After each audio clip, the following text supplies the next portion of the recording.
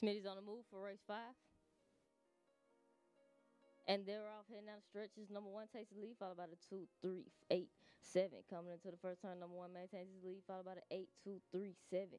Heading around the first turn to the back stretch, number one keeps the lead, followed by the two, eight, six, seven. On the back stretch, number one still in the lead, followed by the two, eight, seven, six, four. Heading into the first turn, number one, number two start the battle for the first for the lead, and number two takes the lead, followed by the one, eight, seven, four, six. Heading on to the home stretch, number two keeps the lead, followed by the one, seven, eight, four. Number two heads for the finish line, and number two will be your winner.